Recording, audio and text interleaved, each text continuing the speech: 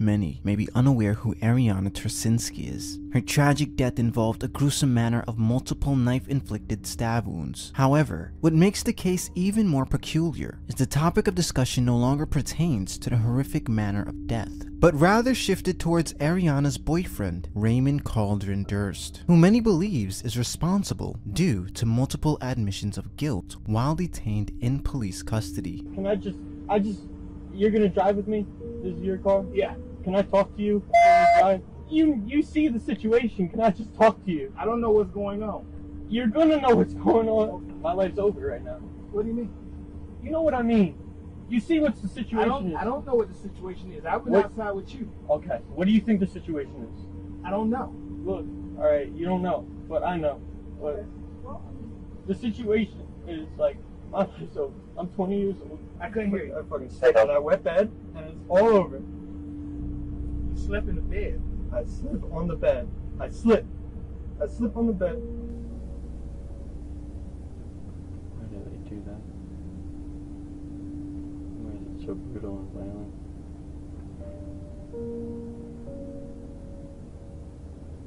I deserve it. While this may seem like enough for prosecutors to pursue, Raymond was eventually released shortly after the homicide, and this case remains unsolved three years later. The nightmare began on Christmas Eve, on 2021, where police would respond to dispatch regarding a man who claimed his daughter was severely injured and needs medical attention as soon as possible. Listen to me. What happened? I don't know what happened. Okay, is some, listen to me. Sir, is someone hurt? You need to tell me yes or no. Is someone hurt? No, my daughter's bleeding out her neck is cut. My daughter's neck is cut. I She's upset. Got a knife, dude. Who has a knife? Someone, I can't understand what's going on. When police arrived at the residence, they would discover 18 year old Ariana Ptarcinski suffering from what seemed to be an apparent knife inflicted stab wound to her neck and shoulder. The house was declared a crime scene, and Ariana's mother, Judy, her father, Edward, and her boyfriend, Raymond Durst, were each detained and seated in the backseat of patrol vehicle until further notice. Ariana was eventually transported to the trauma center at Bayonet Point Hospital, where doctors began surgery in an attempt to save her life. Raymond is accompanied by a much more jovial and empathetic officer, who not only answers every single question Raymond asks, but also goes out of his way to make sure Raymond is as comfortable as possible. We will come to observe that there is never truly a dull moment during this interview, as we will witness what is considered incriminating evidence in a court of law, as Raymond can be heard multiple times showing verbal admissions of guilt, acceptance for what occurred, and repentance for his actions. It's also very important to note that Raymond never mentions that Ariana stabbed herself, which would later be posed as a possibility. Unfortunately, the responding officers on scene are completely oblivious.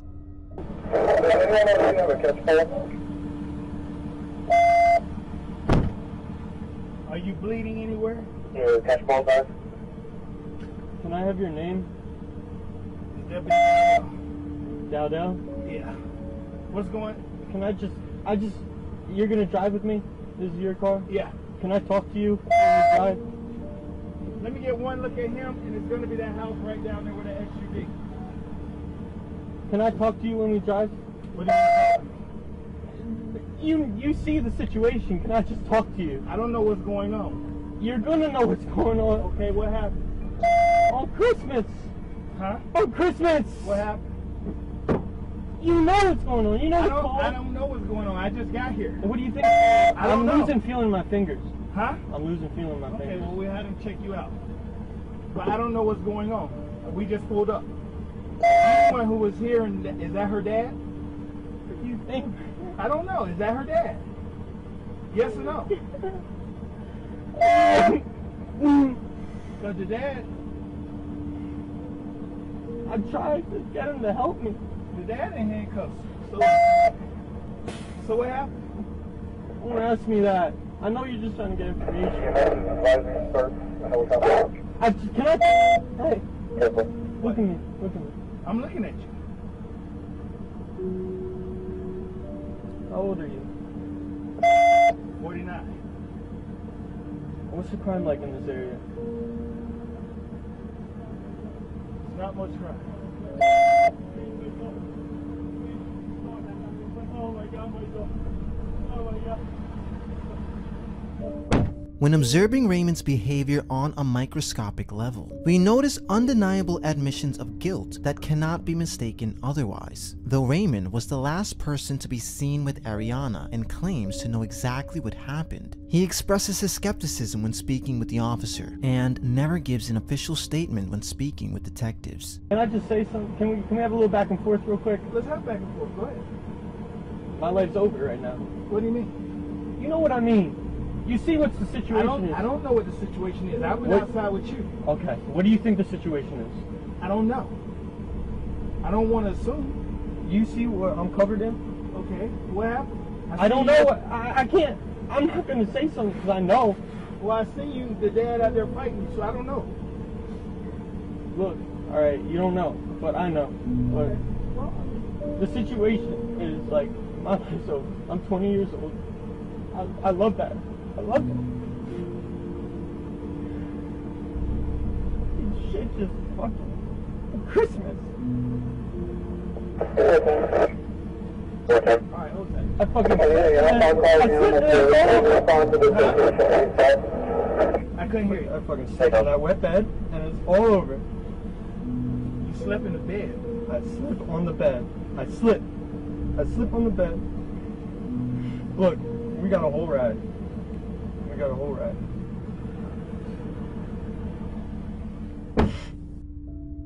Go to Oak Hill. I'm gonna try and clear one up here in a second. We just have a lot of people.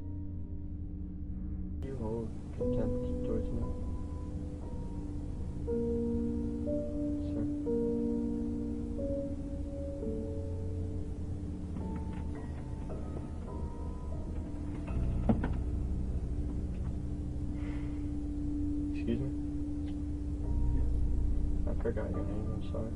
Deputy Dowdell. Dow Death. Would you not like me talking to you? No, you're fine. 1380, You will talk to me? I'm right here. Um, it's like a dream, you know, or a nightmare rather. Me sitting in the back of a cop car. I can't hear you. 1380, Temple Truck. It's like a nightmare. You know, it sounds like almost too ridiculous. What sounded almost too ridiculous? Well, what do you think happened? I don't. I listen. I don't know, but I'm not gonna sit here and try to guess and try to figure out. No, no, no, I'm 1380, sitting here Truck. covered in blood in the back of a cop car on Christmas Day. I well, that's why we're trying to figure it out. You were out there in a physical fight with her, somebody's dad. That's all I know. But I thought you knew what was going on with No, the I girl. don't. 415, 34 needs. That's what I keep trying to tell you. Why do we have to talk about that? Huh? 22, 24, one of the units on the scene. Why do we have to talk about that? 415, switch to 2. Can you let me know, like, how, like, what's gonna happen? Like, we leave here and then what? 22, 24, one of the units on the scene. I go to the police station, correct? hmm And then after the police station, after I arrive at the police station, then what happens? I don't know. It depends on whatever went on here. Does it? Did Does you it? say you from Ocala? What's your name? I told you. No, you didn't tell me. Yeah, I did. I said Ramon Calderon Durst. I can't hear you. Ramon Calderon 34, Durst.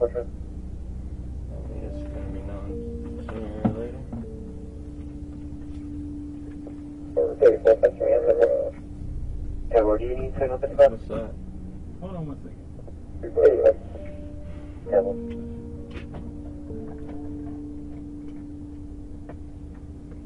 Have you, how, how long have you been a cop? So, Par? 607. Spell your first name. Par? Since the camera is pointed directly at Raymond's face, this portion of the video is quite revealing, as Raymond dramatically states that he feels like crying. We will observe Raymond begin to conjure his emotions in real time, yet fails to produce genuine sorrow, which slowly dissipates into concern for his well being. Under many circumstances, this can undoubtedly be interpreted as a lack of remorse.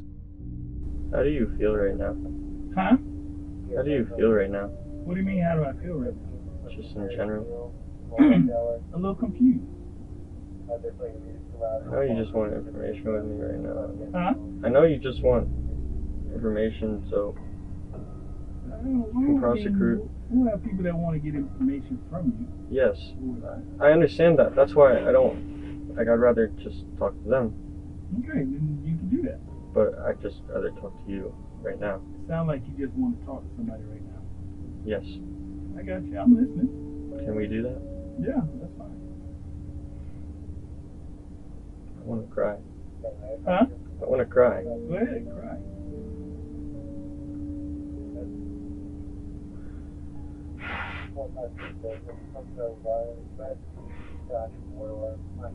No one will have mercy for me.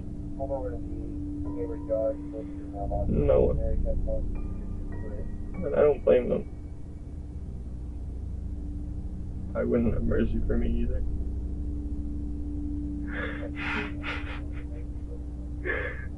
It's like ridiculous, you know? You know, like no way. No way life no way life this is fucking ridiculous. Oh I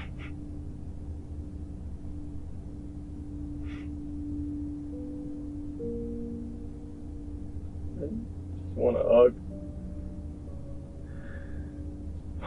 Hug man. I don't deserve one. The bad about family. You still stay in Stuart, Florida? That's where I, uh. what a mean mug picture. That's where I, uh. send all my mail to. But my mom lives down there. Stay with my grandma in, in Summerfield, Florida. What's the address? I, I will tell you the address.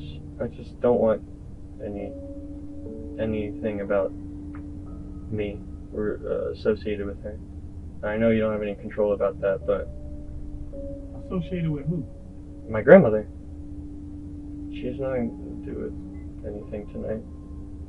During this next segment, we will observe Raymond asks the same question twice, which the responding officer picks up on immediately. This leaves many to speculate Raymond's current thought process, as the reasoning for his inquisition is vaguely unknown. However, Raymond is not shy of letting the officer know that he is skeptic of his true intentions when gathering information. It's also worth noting that Raymond has not been accused of any crime at this point. I don't know if you can control that. I don't know if you're being honest with me or anything, but what is the crime like specifically here? You keep asking what's the crime like. Yes, I do. Why?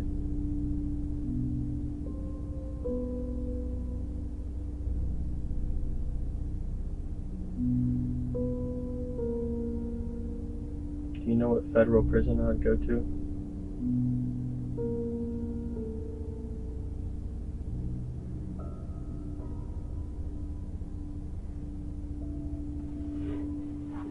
Excuse me?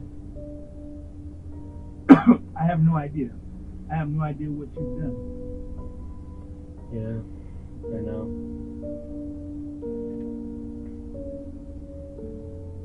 Is there only one in Florida, one federal prison? Prison?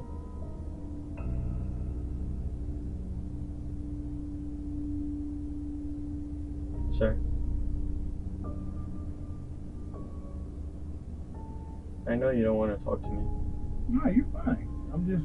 No, like I know you don't want to talk to me. No. Like, I mean, Yeah, You just- you. I'm You want to talk to me, but you want to talk to me because you want information from me. No, because I- you're writing down. No, I'm actually I'm not. I wrote your information down here. Can I see when it? If someone comes up, I can give them your information. Who? If who comes up? One of our detectives. Can I see it? Hmm? Can I see it? What is it you want to see? Can you help me?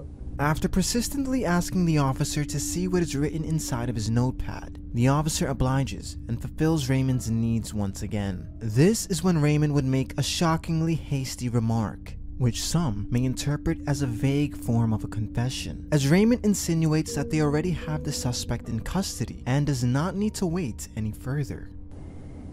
I don't know, man.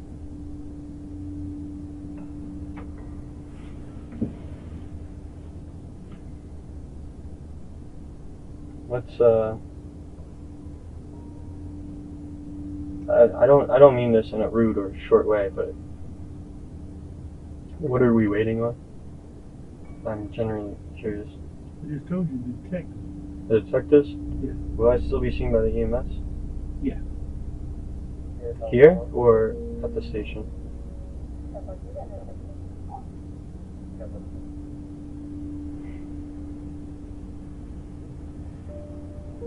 Excuse me? Yeah. Here at the station? At the station. Possibly here. But possibly at the station. hmm So your mail go to this address here? Stuart? Yes. Yes. Um, Where do you live? in Ocala. Can I, can I please have these handcuffs loosened just one click? Okay, give me a second. A second officer arrives on scene to further document any information police may need for future reference. In the following segment, Raymond begins to verbally project what some may consider as a guilty conscience, as he expresses burdening full responsibility and inevitably accepting the consequences for his actions. Okay. What, what's a good phone number for you? What are the pictures for? The report? Yes. Damn, man. What's your phone number? You said. Sorry. Like, Sorry. like this is, you know, like I, I know, like, fuck this guy, right? But No, I didn't say that, I know, I know you didn't say it, but and I'm not thinking that. I'm just trying to get some information from you s- from my report. I know, but you know, that's what you and everyone else will think, no matter what happens. I don't, I don't even know what happened. No one knows what happens here. Of course they don't, but that's how I feel right now. I understand. It's a lot for me, and I know I don't deserve any mercy. Listen, I'm not here to judge you, partner. I am not. That's not me. I'm not here to judge you in, in any way, shape, or form. I'm just trying to get some information, okay? I know. Do you have a middle name? No, I don't. Have, a middle. Okay. oh my god, what's the crime like here? I don't. I, if I could, if I knew what was going on, I could tell you, but I don't. What does the crime in this area have to do with me? I'm sorry, I don't understand. I just asked what the crime was like in this area. Is there a lot of crime in this area? Average? Average is is different depending on the place. My number is 302. Who, who lives at this house that you were at? My grandmother. Your grandmother? Okay. What's her name? Please, man, I I won't bring her Okay. in. All right, fine. Um. So what now? The Detective just got here, so he'll be talking to you shortly.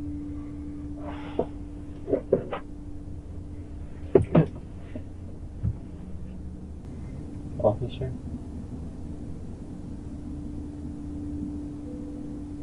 Officer Dowdell? Sir? Yes. You turn this light off for me, please? Yes, I can. Thank you. I'm going to get in prison.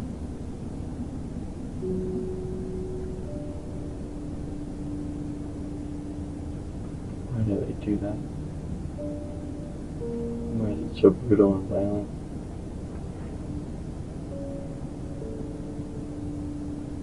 I deserve it.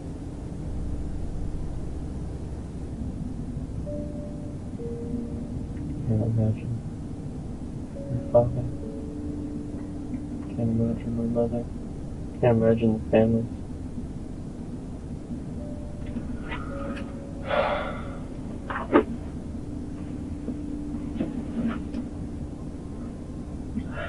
Fuck, man.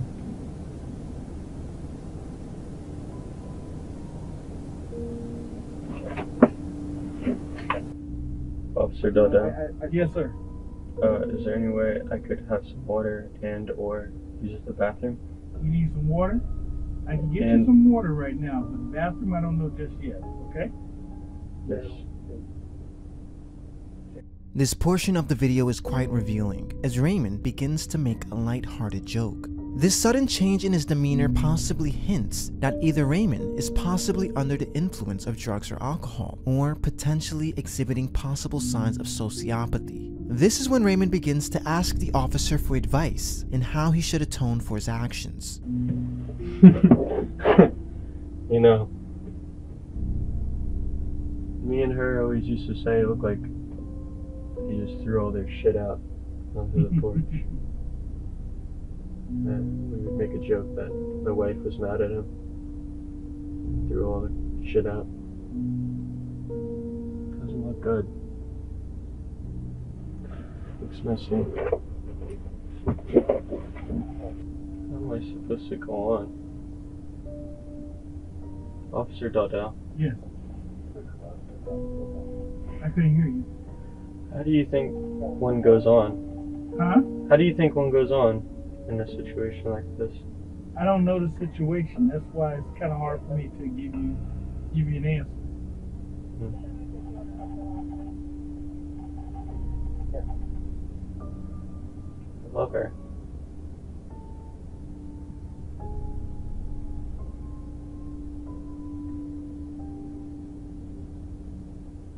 It's like no way, you know? Christmas and Christmas. No way. Right?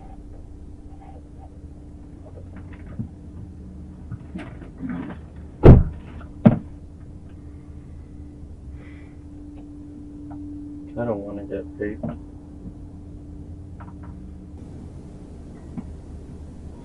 What do you think about that? About what? The violence and rape in prison?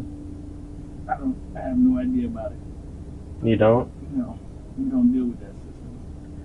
Yes, but there's been countless documentaries and interviews and articles about it.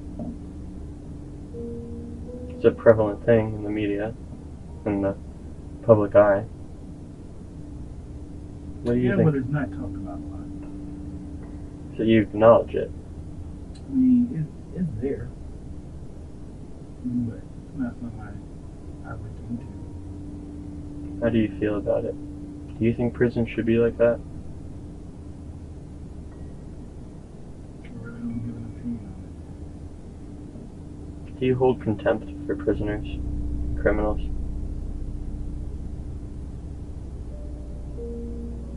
Malice, hatred, spite. Do you hate criminals?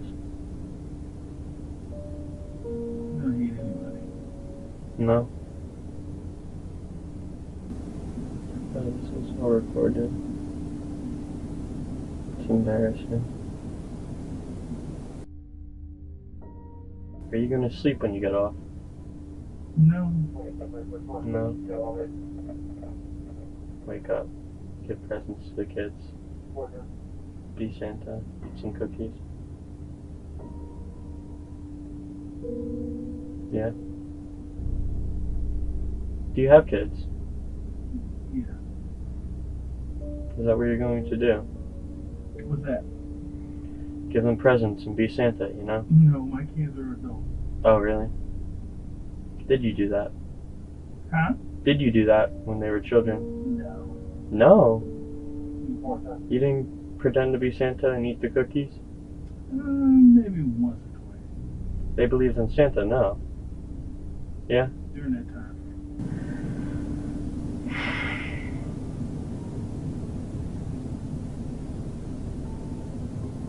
That's all I envisioned with her.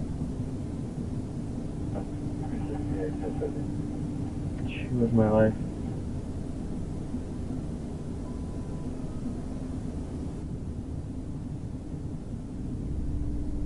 Look at me. I deserve everything.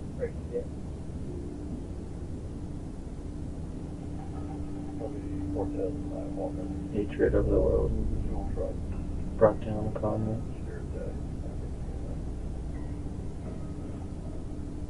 I hope I find her again. You know what I mean by that?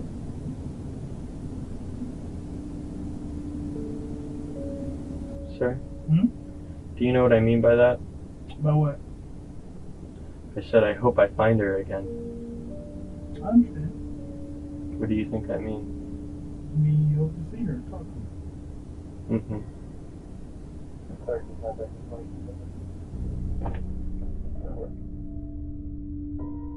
Raymond was eventually taken to the police station for further documentation, such as his bloody shirt, injuries, and DNA samples. But this is where the story would take yet another turn, as Raymond seems surprised with what the officer tells him next. Alright, took the handcuffs off you? Alright, listen, we're gonna get you out of here. Um, we looked into the case a little bit further and we're not charging you with anything. What? We're not gonna charge you anything right now. Okay, we're gonna look into it a little further, make sure some things are the way they're supposed to be, so you're gonna get out of here. But I have a, I have, uh, I wanna ask you something, is it, is it okay if we take pictures of what happened with you? The very next morning, Ariana's medical condition would worsen, as she was suffering from brainstem death, which means Ariana was entirely unconscious and required a ventilator in order to stay alive. The family would make a split decision to pull the cord on her life supports and donate her organs to others in need. Since then, no arrests had been made, despite medical examiners ruling her death as a homicide and the occurrence as stabbed by others. The family would eventually take to social media in an attempt for their daughter's case to gain recognition. As a result, 173 pages out of the 373 page report contained images from social media posts from the family scrutinizing the police department. In August 2023, the state's attorney's office would forward a letter to the Ptarcinski's family stating that no criminal charges will be filed against Raymond, specifically stating that the act of negligence cannot be made criminal, regardless of the loss of human life without mens rea. But the family believes that there was intent. As for Raymond, he has yet to make an official statement to police nor detectives on the matter, as police stated that Raymond is still experiencing trauma and is still recovering from that day. Some believes this case to be closed, but after reaching out to the Hernando County Sheriff's Office, this is what they had to say. If you've learned something new from this presentation, consider liking and subscribing. Justice for Ariana.